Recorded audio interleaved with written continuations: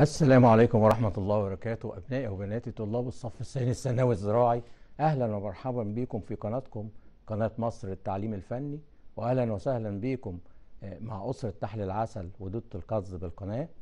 آه، طبعا آه، إحنا بعد ما خلصنا الفصل الدراسي الأول وبعد الحلقة ال- وبعد الحلقة حلقة المراجعة اللي إحنا اتكلمنا فيها عن المنهج كله وعن الأسئلة المتوقعة اللي ممكن إن هي تيجي في امتحانك بتاع الفصل الدراسي الأول آه، وبالفعل كان كل الامتحانات على المستوى التعليمي على مستوى الجمهورية كلها كل الامتحانات جت من ال- الحلقة بتاعة المراجعة اللي إحنا قلناها في نهاية الفصل الدراسي الأول.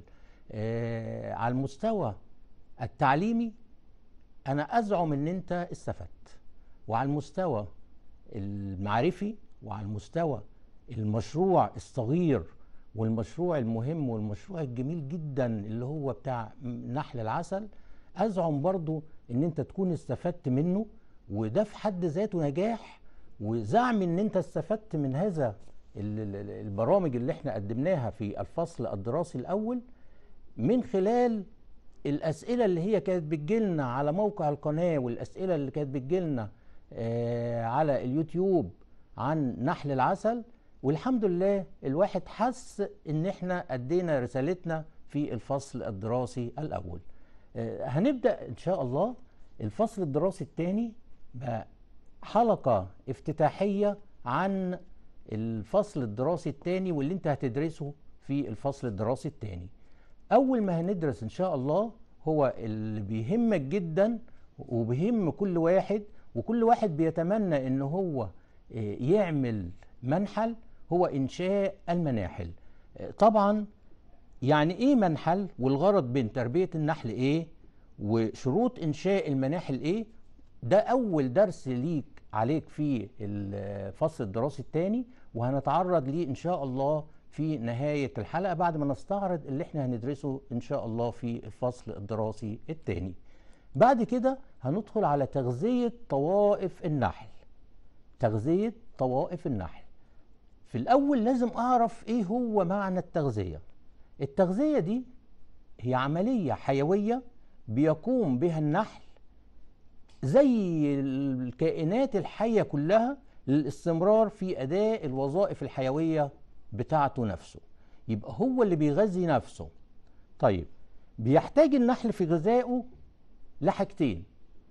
بيحتاج لعنصرين مهمين جدا وهو العنصر الكربوهيدراتي والبروتينات. طبعا آه، لو جينا نتكلم على التغذية نفسها لازم غذاء الكائن الحي يكون متكامل.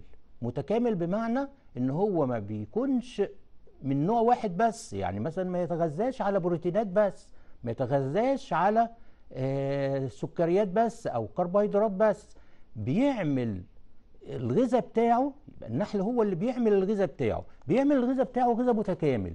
غذاء متكامل متكون من بروتينات وكربوهيدرات وده هنتعرف عليه إن شاء الله من خلال دراستنا في الفصل الدراسي الثاني يبقى قدامك أهو المعنى التغذية وهو عملية حيوية بيقوم بها النحل كباقي الكائنات للاستمرار في أداء الوظائف الحيوية بيحتاج النحل لمصدر كربوهيدراتي ومصدر بروتينات وفيتامينات وأملاح معدنية. طبعا ال- ال- الكربوهيدرات اللي هو بياخده من رحيق الأزهار اللي هو العسل آه، والمصدر البروتيني بياخده من حبوب اللقاح اللي هو بيجيبها برضو من النبات اللي هي بتتكون من فيتامينات وأملاح معدنية دي كلها اللي هي آه، حبوب اللقاح اللي هندرسها إن شاء الله.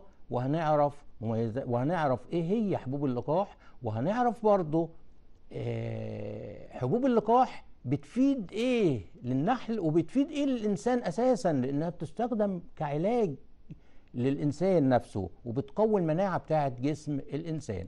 طيب هتكلم بعد كده برضو على ضم الطوائف. يعني إيه ضم الطوائف؟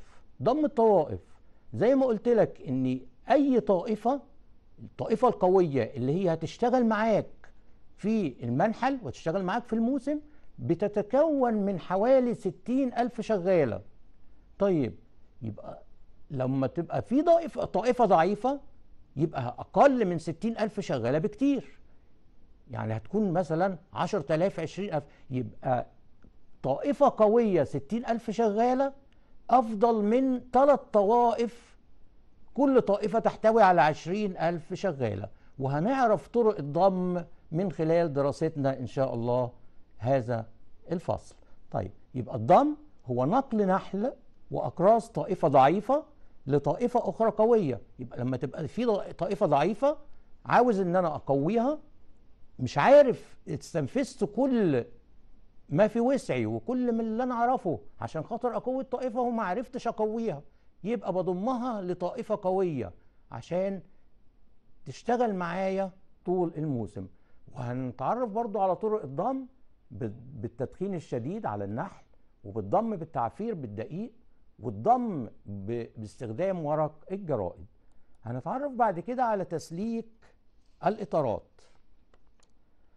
طيب يعني إيه إطارات؟ الإطار ده أنا قلت لك إن الخلية بتاعت لانجستروس الخليه الخشبية. إحنا قلنا هي خلية خشبية ذات إطارات متحركة اللي هي بيبقى فيها الشمع بيبقى فيها برواز الشمع. طيب يبقى الإطار ده إطار خشبي. بيسلك هذا الإطار الخشب بواسطة سلك وبواسطه سلك وبواسطه دعائم. الدعائم دي بثبت عليها الأساس الشمعي اللي بنزله للنحل. طب إيه هو الأساس الشمعي؟ الأساس الشمعي ده عبارة عن فرخ شمع نحل نقي مطبوع عليه من الجهتين قواعد حوائط العيون السداسية اللي بيبني النحل هذه العيون وما بخلوش إن هو يستغرق وقت كبير لعمل برواز شمع. ده أنا بحط له آه الأساس الشمعي وهو اللي بيبني عليه بعد كده العيون السداسية. طيب هو ده الإطار اللي قدامك. الإطار الخشبي والإطار الخشبي اللي هو المسلك بيكون آه عليه سلوك عبارة عن عمل التسليك بقى إيه؟ عبارة عن عمل دعائم من السلك للإطار. يبقى في إطار الخشبي ده بحط آه سلوك. السلوك دي بتتشد إما راسيا أو افقيا وأنواع التسليك وأشكال التسليك هتعرف عليها وهقول لك عليها إما يكون متوازي إما يكون هرمي إما يكون هرمي متوازي إما يكون متوازي آه ومتقاطع. يبقى ده كله الهدف من تسليك الإطار تقوية الأساس الشمعي. يبقى أنا ما أقدرش إن أنا أحط الأساس الشمعي على الإطار الخشبي كده وخلاص. لازم أسلكه عشان يقوي الأساس الشمعي. هتعرف بعد كده برضو على نقل النحل وإسكان الطرود. نقل النحل وإسكان الطرود. دي صور نقل النحل. إما إن هي بتنقل النحل في طرود عادية طرود عادية يعني في صندوق سفر وإحنا عرفنا إن صندوق السفر من الفصل الدراسي الأول افتكر معايا لأن زي ما قلت لك النحل كله مرتبط ببعض. اللي درسته في الفصل الدراسي الأول هتحتاجه في الفصل الدراسي الثاني هتحتاجه في الصف الثالث إن شاء الله السنة الجاية إحنا قلنا الطرد بيتحط في صندوق سفر. صندوق السفر ده بيسع خمس براويز أو خمس إطارات.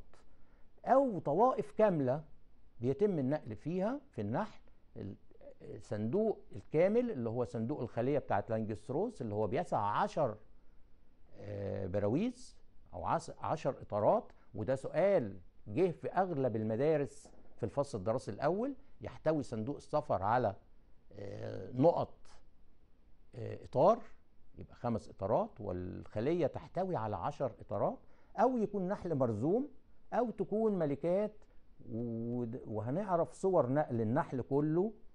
طيب هنتكلم بعد كده في الجزء الثاني بتاع منهجنا السنة دي على ديدان الحرير ديدان القز وخدنا فكرة عن ديدان القز في الفصل الدراسي الأول وقلنا آه على تقسيمها وقلنا على زراعة أشجار التوت طب وإحنا بنزرع أشجار توت ليه؟ وإحنا بندرس زراعة أشجار التوت ليه؟ لأن أنت بت... طالما بتربي دود قز اللي هو دودة القز ده من المشروع التاني اللي قلت لك عليه في أول الفصل الدراسي الأول قلت لك إن إحنا منهجنا في مشروعين مشروع من المشروعات الصغيره مشروع اللي هو إنتاج العسل والمشروع الثاني إنتاج الحرير الطبيعي. والحرير الطبيعي قلت لك إن هو اللي بينتجه دود القز. طيب دود القز دي بتتغذى على إيه؟ بتتغذى على أشجار التوت. بتتغذى على أشجار التوت يبقى أنا لازم أزرع لها أشجار توت. بتتغذى على ورق التوت. يبقى لازم أزرع لها أشجار توت عشان آخد منها الورق عشان أوفر للدود القز اللي أنا بربيه ده أوفر له التغذية اللازمة ليه. طيب اتكلم بعد كده على التقسيم من حيث نوع التغذية. يبقى يا ترى إن في ديدان حرير توتية بس؟ لا ده في ديدان حرير توتية بتتغذى على أوراق التوت. في ديدان حرير غير توتية بتتغذى على أوراق أشجار تاني غير أوراق أشجار التوت. ولكن أفضلهم في إنتاج الحرير الطبيعي وهو دوت القز اللي هي بتتغذى على ورق التوت. طيب هنتكلم على التقسيم من حيث التغذية. قلت إن في أوراق في ديدان قز أو ديدان حرير تتغذى على أوراق توت وفي ديدان حرير غير توتية زي مثلا ديدان حرير ايري الخروعية اللي بتتغذى على أوراق الخروع في ديدان حرير تانية اللي هي تاسار تتغذى على أوراق الفيكس والبلوط. ديدان حرير موجا بتتغذى على أوراق الغابات البرية. ومعلومة ليك انت إحنا هنا في مصر أو في العالم كله بيهتم ب دوت القاز اللي هي بتتغذى على ورق التوت اللي هي دوت الحرير التوتية دودة الحرير التوتية. ولكن لو بصيت على مستوى العالم كله في بلاد بتربي كل أنواع دودة القاز أو دودة الحرير اللي هي زي الهند مثلا بتربي خمس أنواع من دودة الحرير. طيب هنتكلم بعد كده الوصف المورفولوجي لدودة الحرير ودي قدامك دودة الحرير أهي. أهي قدامك. دودة الحرير التوتية. دي الفراشة بتاعت دودة الحرير التوتية. ودي دورة الحياة بتاعتها وقلنا إن دورة الحياة بتاعت دودة القاز أو دودة الحرير التوتية فراشة دودة الحرير التوتية آه التطور بتاعها تطور تام أو تطور كامل يعني بيضة يرق عذراء حشرة كاملة. ودي دودة الحرير الخروعية اللي هي قدامك بمواصفاتها وهندرسها إن شاء الله بالتفصيل. دي فراشة دودة الحرير الخروعية اللي بتتغذى على إيه؟ برافو عليك على أشجار أو على ورق الخروع. اتكلم بعد كده على دراسة تشريحية لدودة الحرير التوتية على القناة الهضمية بتاعتها. هنعرف لازم تعرف إن دودة الحرير التوتية فيها قناة هضمية أمامية قناة هضمية وسطية وقناة هضمية خلفية ودول بتستخدمهم. أنا ب... ب... يعني بحاول إن أنا أدرس الدراسة التشريحية عشان أشوف الغدد الموجودة داخل دودة القز أو دودة الحرير اللي هي بتعمل لي الحرير نفسها. هدرس ده بالتفصيل إن شاء الله. إفراز الحرير هتكلم عنه قدامك. وهتكلم وهشوف مقارنة بين دودة الحرير التوتية ودودة الحرير الخروعية. يبقى ده منهجنا في الفصل الدراسي الثاني اللي هنتكلم عليه إن شاء الله. وهتكلم بقى النهاردة على أول موضوع لينا وهو إنشاء المناحل. طبعا مفيش حد منا ما بيتمناش إن هو يكون عنده منحل بما فيه من فوائد كبيرة جدا مش بس إنتاج عسل ده في منتجات كتير جدا لنحل العسل اللي إحنا تعرضنا عليها في الفصل الدراسي الأول. قلنا إن هو بينتج عسل بينتج حبوب لقاح بينتج غذاء ملكات بينتج آه سم نحل ده كله منتجات بينتج بروبوليس دي كلها منتجات مفيدة جدا للإنسان ومفيدة جدا للمشروع اللي أنت بتعمله. يبقى مش شرط المشروع اللي أنت بتعمله عشان تنتج لي عسل وخلاص لا ده كيلو البروبوليس لوحده. إحنا قلنا إنه بيعادل حوالي 100 8 150 كيلو عسل. كيلو غذاء الملكات بيعادل كتير جدا بيعادل حوالي 100 كيلو عسل. ثمنه بيعادل 100 كيلو عسل. يبقى أنا لو تعمقت في دراسة نحل العسل واشتغلت فيه بحرفية يبقى ممكن إن أنا ما ممكن إن أنا ما انتجش عسل وخلاص. ما انتجش عسل بس. لا ده أنا ماليش لازمة أنا بإنتاج العسل. لا ده أنا هنتج منتجات تانية. هتدخل عليا دخل كبير جدا بالنسبة دخل مادي كبير جدا ومش أي حد هيقدر ينتج الحاجات دي إلا اللي هو هيكون دارسها ويكون ماشي معانا ويكون في في فكره إن هو يدرس نحل ويعمل مشروع وينجح. طيب لو جيت اتكلمت على إنشاء المناحل لازم أعرف إيه هو المنحل؟ المنحل زي ما قدامك على الشاشة وهو المكان المستديم من الأرض اللي بتوضع عليه الخلايا. يبقى المكان اللي أنا بحط عليه الخلايا. طب إيه هي الخلية؟ الخلية هي مسكن النحل. يبقى كل كائن حي ليه مسكن.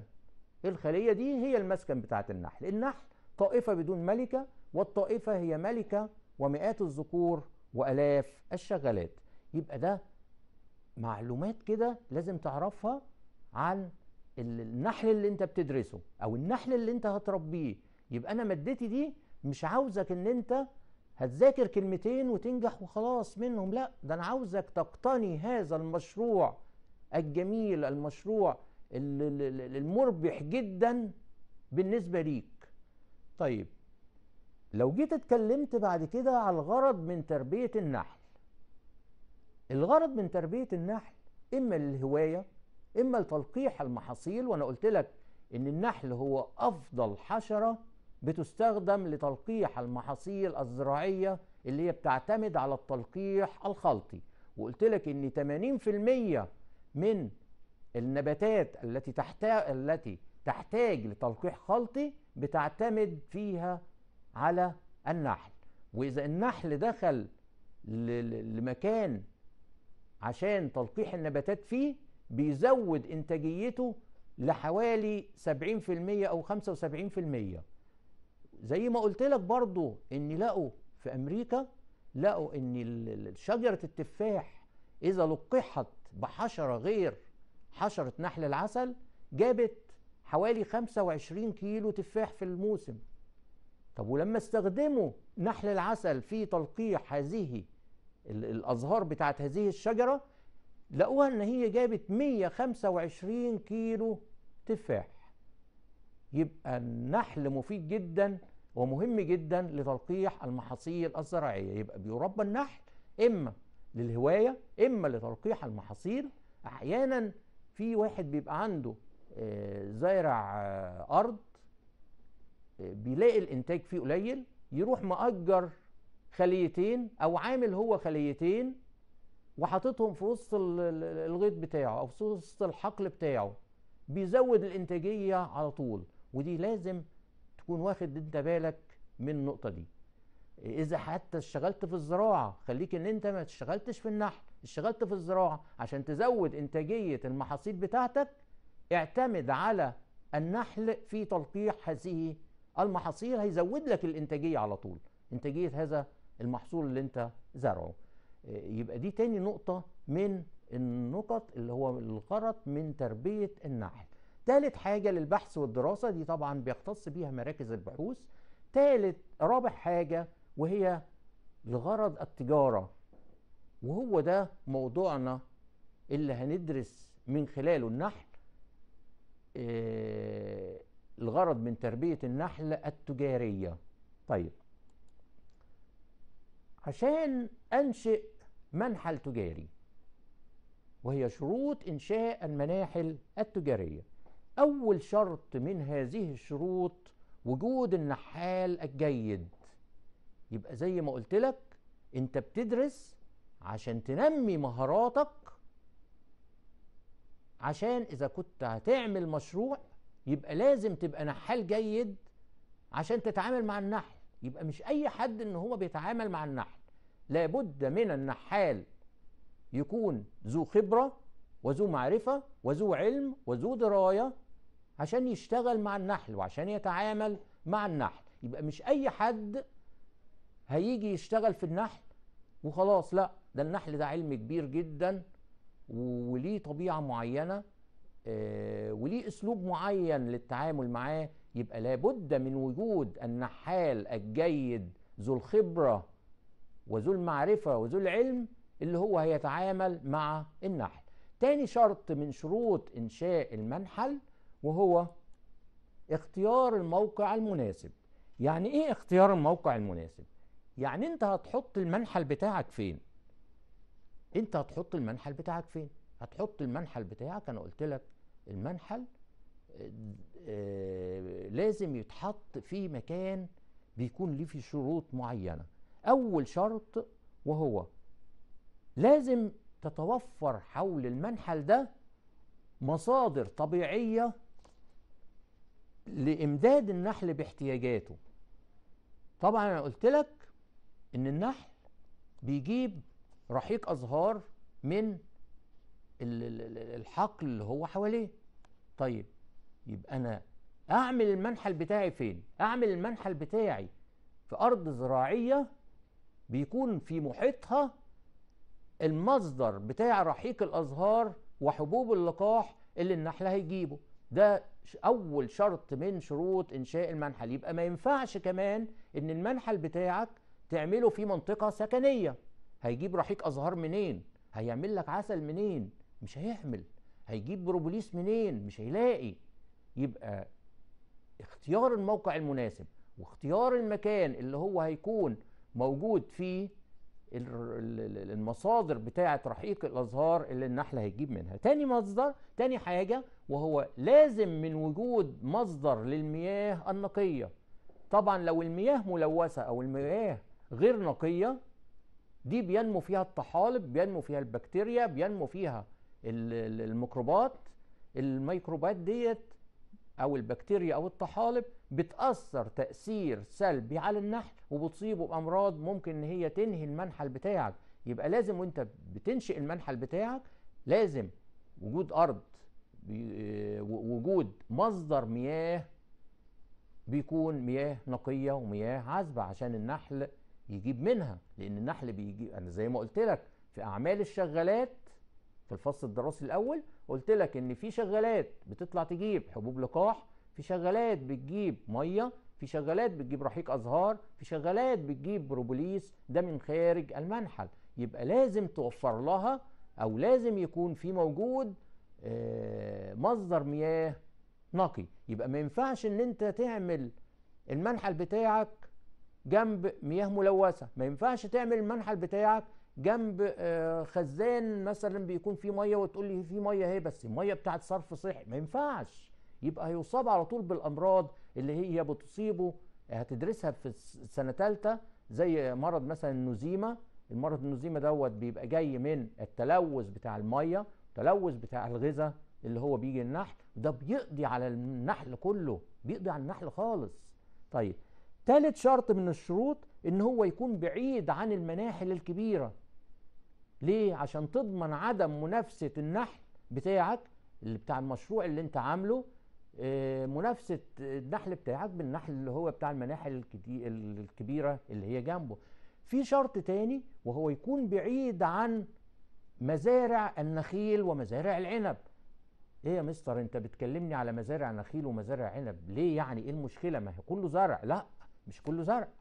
لأن النخيل العائل الرئيسي بتاع دبور البلح ودبور البلح هو العدو اللدود للنحل.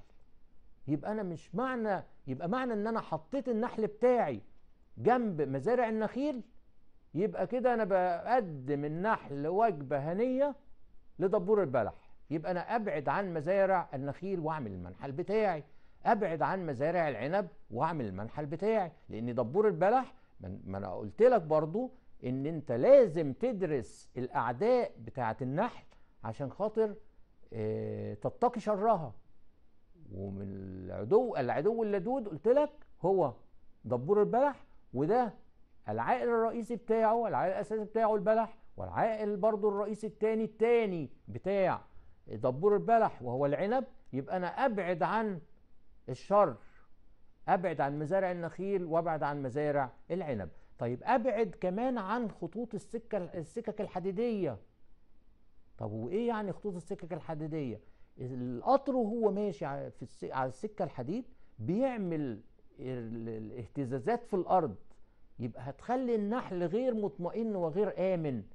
يبقى ممكن يحصل للنحل حاجة اسمها هجرة. حاجة اسمها هجرة يعني إيه الهجرة؟ يعني إن النحل كله بيسيب لك مكان بيسيب لك المنحل بتاعك ويسيب الخلية وبيمشي. تيجي تاني يوم تفتح الخلية بتاعتك ما تلاقيش النحل فيه خالص. وده كله من إيه؟ ده كله من الاهتزازات بتاعه اللي حدثها القطار وهو ماشي على السكة الحديدية. ده عاوز مكان آمن. طيب آه في شرط تاني من اختيار المكان المناسب وهو إن لازم المنحل بتاعك يكون قريب من المواصلات قريب من سكة المواصلات عشان انت هتجيب معدات هتجيب حاجات يبقى لازم تكون قريبة من طريق المواصلات. لازم يكون النحل بتاعك بعيد عن الأماكن اللي هي ممكن تحصل فيها حرائق.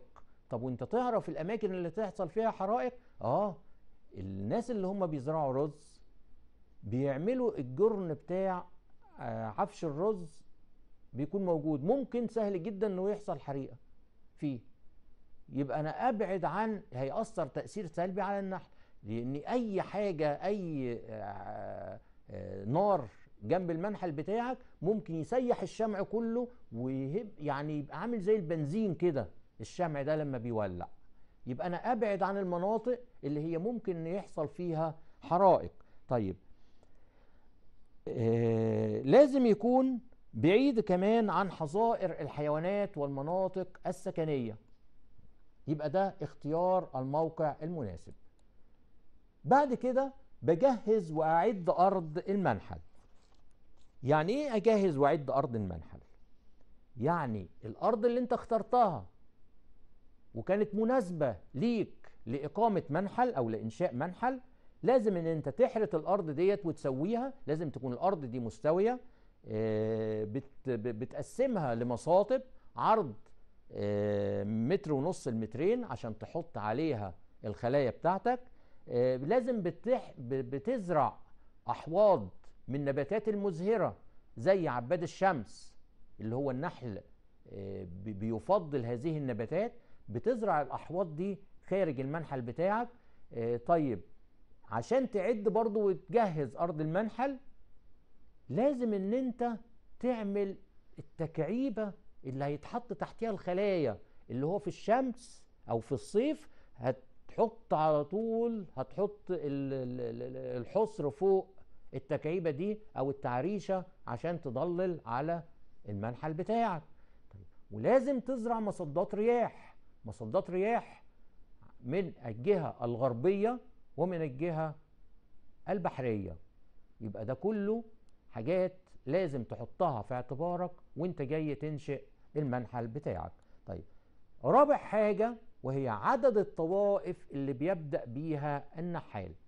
طبعا أنت طالما إن أنت نحال مبتدئ طالما هتعمل مشروع جديد يبقى ما ينفعش إن أنت تقول إن أنا هجيب 50 خلية ولا 100 خلية أو 100 طائفة أو 50 طائفة أو 100 طائفة هبدأ بيهم. لا ده أنت تبدأ بعدد قليل تبدأ بعشر طوائف أو عشرين طائفة العشر طوائف أو العشرين طائف طائفة دول. طالما أنت عندك خبرة في النحل وطالما أنت عندك دراسة وعندك علم وعندك دراية بعمل النحل هتلاقي أن العشرين طائفة اللي أنت جبتهم وبدأت بيهم المشروع هتنهي الموسم بتاعك وأنت عندك لا يقل عن 30 35 طائفة. ده من التقسيم حاجة اسمها تقسيم تقسيم الطوائف ودي هندرسها برضو يبقى عشان كده هقول لك إن النحل كله مرتبط ببعض وكل عملياته النحلية مرتبطة ببعض. طيب يبقى ما ينفعش إن أنت معاك قرشين قلت كويس أنا هعمل بقى منحل كبير. ده المنحل ال- أنا سمعت إن هو آه، رأس ماله آه، مهما كان قليل هيبقى آه، ربحه كبير يبقى أنا أجيب 50 أو 100 طائفة. لا زي ما قلت لك. طيب يبقى اهو عدد الطوائف اللي بيبدأ بيها النحال يبقى ده شرط لازم تحطه في اعتبارك. طيب. بعد كده شراء الخلايا وأدوات النحالة. طيب الخلايا دي وإحنا شرحنا في الفصل الدراسي الأول الخلايا الخشبية اللي هي لانجستروس وقلنا مواصفاتها لازم تشوف المواصفات بالظبط اللي إحنا قلناها والمقاسات بالظبط اللي إحنا قلناها بتاعت الخلية وتعمل خلايا زيها. بالظبط عشان كلها مرتبطة ببعض لأن الخلية بتبقى مقاسها بيتحط جواها الإطار الإطار برضو ليها مقاس برضو خاص بيها آه، يبقى لازم إن أنت عند ما تشتري الخلايا بتاعتك بتاعت ال- المنحل لازم تكون الخلايا ديت مطابقة للمواصفات اللي هي قلناها لك طيب أدوات النحالة. ملابس النحال اتكلمنا عنها وملابس النحال دي قلنا إن هي القناع والقفاز والأفرول. يبقى دي كلها الأدوات أو الملابس اللي أنت هتستعملها عشان تقي نفسك من لدغ النحل وانت شغال كمبتدئ. يعني افرول ومش عارف وجوانتي ده اول ما هتبدأ تشتغل في النحل هتلبس الحاجات دي. بعد كده هو يدوب هتلبس القناع بس اللي هو في وشك آه ومش هتلبس ولا افرول ولا هتلبس جوانتي ولا بس هي دي ملابس النحال. وإذا جات لك في الامتحان على ملابس النحال يبقى انت عارف إيه ملابس النحال اللي انت درستها أو اللي أنت هتشتريها. طيب بعد كده أدوات النحالة. أنت هتشتغل بإيه؟ ما أنت لازم ليك أدوات هتشتغل بيها. دي برضو لازم تشتريها. إيه هي؟ أو لازم تجهزها. إيه هي؟ أول حاجة المدخن العتلة الفرشاة آه، أقفاص آه، أقفاص نصف كرة عشان الملكات آه، الدواسة. اللي هي وانت جاي تعمل تسليك وتثبيت للإطارات. إطارات نفسها هتشتريها برضو. يبقى دي كلها أدوات النحالة اللي أنت المفروض تشتريها أو اللي أنت المفروض تجهزها. يبقى دي كلها الحاجات اللي هي أنت تستعملها لما بتنشئ المنحل بتاعك. وطبعا إنشاء المنحل ده زي ما قلت لك إن مش أنت كطالب بس اللي عاوز تعمل منحل أو اللي أنت بتدرس ده عشان خاطر أنت بتدرس ده عشان خاطر هتنجح فيه هتنجح. ولكن أنا عاوزك تدرسه عشان خاطر تعمل المشروع ده. لأن هو مشروع فعلا زي ما قلت لك مشروع مربح. وأنا أغلب ال- الاستفسارات اللي بتجيلي على إنشاء مشروع من مشاريع النحل مش من الطلبة. يعني في من الطلبة آه وأغلبها من الناس العوام بيسألوا على إزاي يعملوا مشروع نحل. لأنه عارفين مدى آه، ربح هذا المشروع وعارفين ان ال- ال- الكل بيحتاج لمنتجات نحل العسل وبالاخص في الأيام اللي إحنا عايشينها دي الكل بيحتاج لمنتجات نحل العسل إذا كان عسل إذا كان حبوب لقاح إذا كان غذاء ملكات إذا كان آه، آه، إذا كان بروبوليس يبقى دي كلها منتجات من نحل الناس بتحتاجها. فأغلب اللي معاه فلوس وعاوز يعمل مشروع من المشاريع الصغيرة والدولة بتقف جنبك آه، وإحنا بنساعده بأي سؤال ما بنبخلش خالص لدرجة إن إحنا ممكن نروح معاه المنحل بتاعه ونشوف في إيه. ونش... وبيجي لنا أسئلة كتير جدا إن هم إزاي ينشئوا منحل. طيب هنشوف بعد كده شرط من من ضمن الشروط اللي هي إنشاء المناحل. هي اختيار سلالة النحل. اختيار سلالة النحل. يبقى مش كل النحل اللي انت أي نحل وخلاص آه هتربيه لا. إحنا درسنا في الفصل الدراسي الأول سلالات النحل واتكلمنا على سلالة النحل الإيطالي بعيوبها ومميزاتها. اتكلمنا عن سلالة النحل المصري بعيوبه ومميزاته. اتكلمنا عن سلالة النحل الكورنيولي بعيوبه ومميزاته. يبقى انت لما تيجي تنشئ منحل انت عارف واحد مثلا قال لك طب ده أنا عندي نحل مصري مية مية ممكن اديك طرود. ما هو النحل بيباع على هيئة طرود والطرد زي ما قلت خمس براويز. آه تلاتة آه حضنة واثنين حبوب لقاح وعسل وبيكون مغطى من الجهتين بالنحل وبيكون فيه ملكة ملقحة قوية وملكة ملقحة حديثة. يجي يقول لك تعالى أنا عندي نحل مصري مية مية. أنت تقول آه النحل المصري حلو. ولكن النحل المصري من عيوبه اللي إحنا قلناها إن هو آه شديد التوهان إن هو آه آه شرس الطباع اتكلمنا بعد كده عن النحل الإيطالي واتكلمنا على عيوبه. عيوبه إن هو لا يحسن ولا يحكم قفل العيون السداسية اللي هي فيها عسل وإن هو بيستهلك عسل بكميات كبيرة. آه واتكلمنا عن عيوب النحل الكل. يبقى أنت معاك دلوقتي العيوب والمميزات بتاعة سلالات النحل المرباة هنا في مصر يبقى أنت تختار النحل اللي أنت ممكن إن أنت تقتنيه. يبقى ده كله آه شروط لازم تحطها في الاعتبار عندما تيجي تنشئ منحل بتاعك. طيب هتتعاقد بقى على شراء النحل.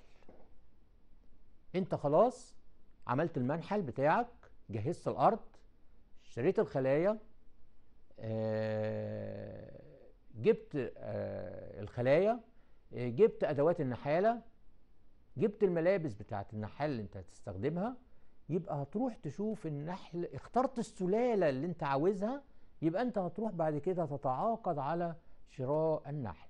تتعاقد على شراء النحل من عند منحل بتبقى عارف انت السلالة بتاعته إيه كويس؟ آه بتبقى عارف طبيعة النحل ده إيه بتكون من إنسان موثوق فيه وبتشتري النحل بتاعك وتتعاقد على شراء النحل بتاعك بحيث إن هو بيجي لك النحل أو أنت بتروح بتجيبه قبل موسم الربيع. يعني بيبقى في نهاية شهر واحد أو في شهر اتنين. يبقى أنت بتبدأ الموسم من أوله. يبقى ده التعاقد على شراء النحل. وبتشوف طبعا السلالة اللي أنت عاوزها إيه. طيب طرق شراء النحل بقى. إيه طرق شراء النحل؟ النحل ده بتشتريه إما بيكون نواة في صندوق سفر زي ما قلت لك أو بيكون في خلية. صندوق السفر بيحتوي على خمس براويز أو طوائف نحل كاملة بتبقى تحتوي على عشر براويز. هي دي الشروط اللي ممكن تكون لازمة ليك عشان خاطر لما تيجي تنشئ منحل بتاعك ولازم تحطها في اعتبارك لأن مش أي حد هيشتغل في النحل. اللي هيشتغل في النحل واحد يكون عارف واحد يكون عنده دراية واحد يكون عنده علم بالعمل بتاع النحل. يبقى لازم إن إحنا آه نحط الشروط دي قدامنا. لازم تحط إن الأرض اللي أنت هت هتنشئ عليها المنحل بتاعك لازم تكون حول هذه الأرض بيكون أو في محيطها بيكون محاصيل زراعية. يعني واحد مثلا يجي يقول لك أنا هزرع أنا هحط نحل جنب قمح. طب النحل ما بيجيبش من القمح حاجة. يبقى أنت هتحط المنحل بتاعك جنب زرع أو جنب محصول. ما فيهوش رحيق ازهار يجيبوا النحل. ما فيهوش حبوب لقاح يجيبوا النحل. لا يبقى ما ينفعش. لا انت عاوز تحط المنحل بتاعك في مكان بتبقى عارف انت الفرزة اللي انت هتجيبها فرزة إيه. يعني أثناء مثلا الموالح ما بيكونش عندنا في المنطقة بتاعتنا أشجار موالح. بنعمل إيه؟ وإحنا عاوزين النحل يجيب لنا عسل موالح.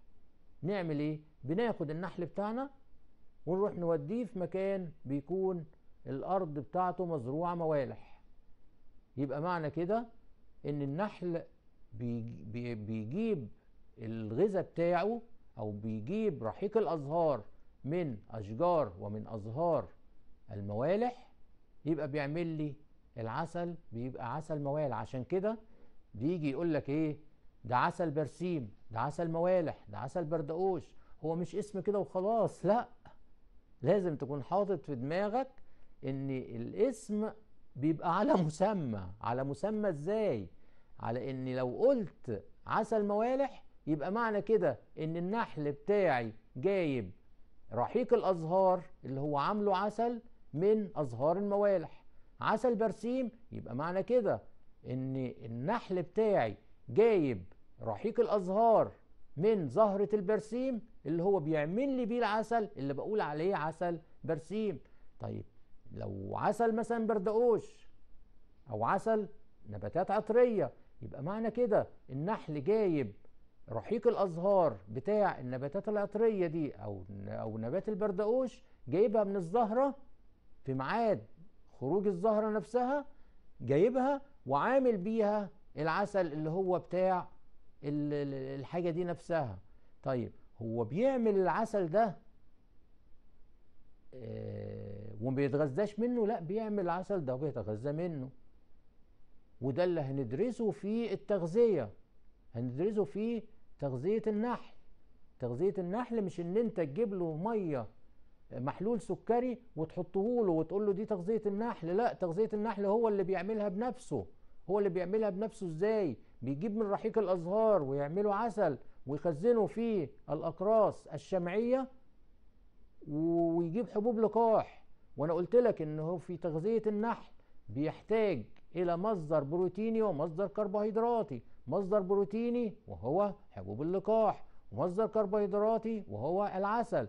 وبيخلط الاثنين مع بعض وبيعملهم آه، حاجة اسمها خبز النحل اللي هو بيتغذى عليه. اللي هي اليرقات الصغيرة. لو تفتكر معايا الفصل الدراسي الأول لما قلت لك إن اليرقة في أول ثلاثة أيام يرقة الشغالة ويرقة الذكر في أول ثلاثة أيام بعد خروجها من البيضة بتتغذى على غذاء ملكات. وبعد كده آه، بتتغذى على خبز النحل.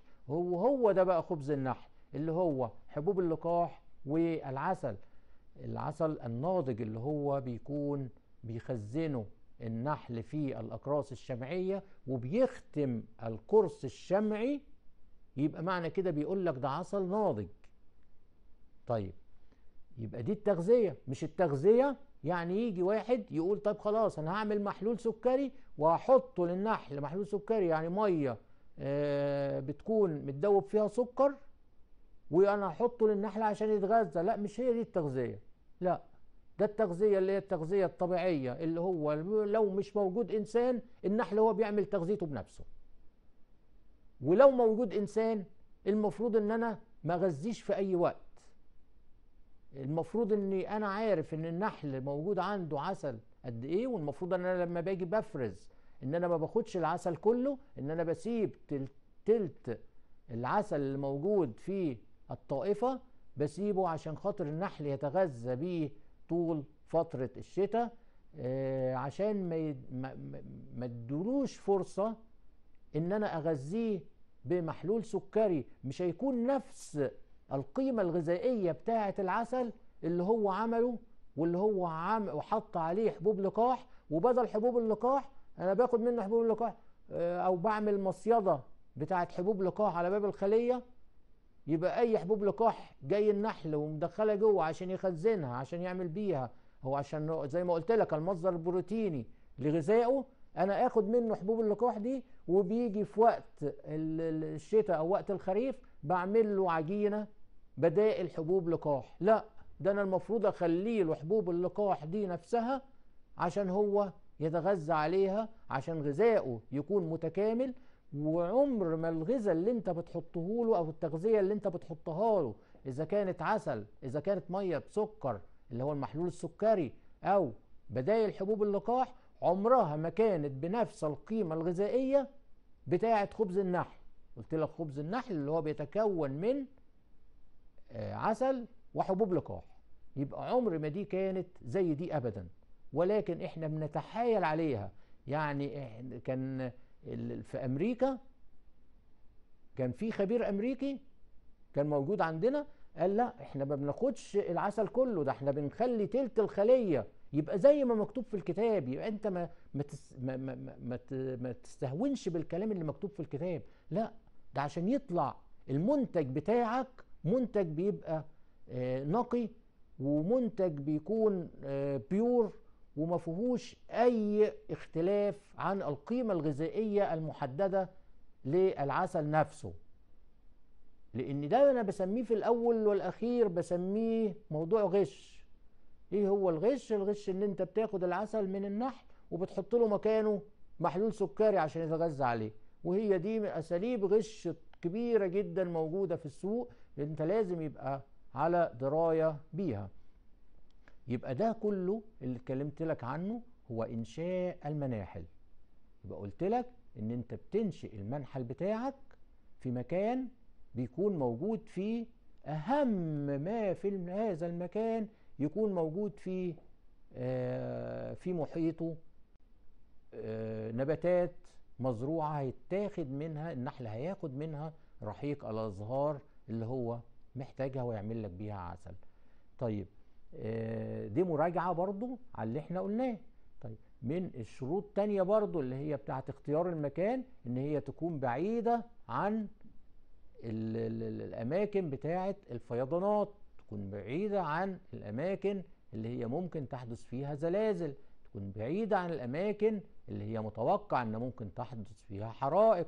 أنا بذكرك باللي إحنا قلناه طول الحلقة تكون بعيدة عن المناطق المنطقة اللي هي بتاعت آه، وجود شريط آه، خط سكة حديد عشان الاهتزازات الأرضية. يبقى دي كلها شروط لازم آه، لازم تحطها في دماغك وانت جاي تعمل المنحل بتاعك.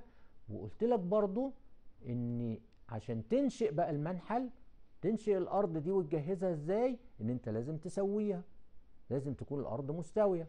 لازم تعمل عليها مصاطب يتحط عليها الخلايا.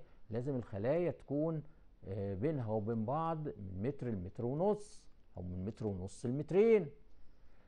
لازم كمان إن يكون التكعيبة بتاعت تعمل تكعيبة أو تعريشة زي ما بيقولوا عليها اللي هي تحط عليها الحصر من فوق اللي هي دي التعريشة اللي هي عشان آه، تقي النحل بتاعك من أشعة الشمس في الصيف. آه، لازم كمان إن تزرع مصدات رياح من الجهة البحرية. ده لو كان مكان مستديم بقى لازم تز...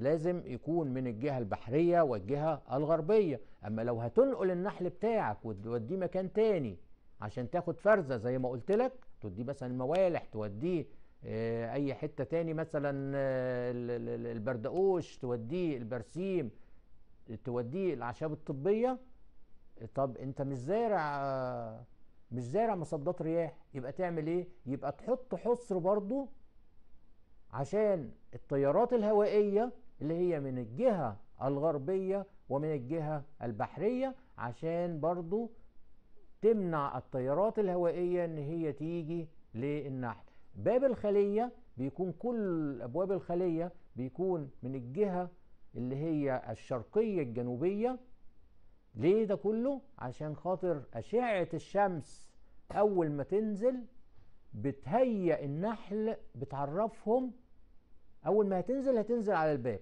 على الباب بتاع الخلية. يبقى تعرف وتهيئ النحل اللي موجود جوه إن أشعة الشمس طلعت أو أشعة الشمس هي طالعة أو الجو مشمس أو الجو كويس ممكن إن هو يطلع ممكن إن هو يطلع عشان يسرح اللي هو السروح بتاعه. السروح بتاعه يعني طالع يجيب رحيق أزهار وحبوب لقاح و... و...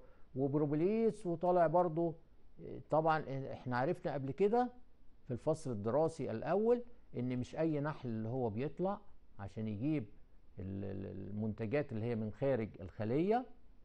آه، عرفنا إن هو آه، النحل عمر 21 يوم لحد لحد عمر 20 يوم بيبقى موجود داخل الخلية ومن عمر الواحد وعشرين يوم بيطلع خارج الخلية عشان يجيب المنتجات اللي هي بتاعة النحل. طب هو بيقعد داخل الخلية بيعمل إيه؟ بيعمل حاجات برضه. بيعمل إيه؟ بيعمل غذاء ملكات.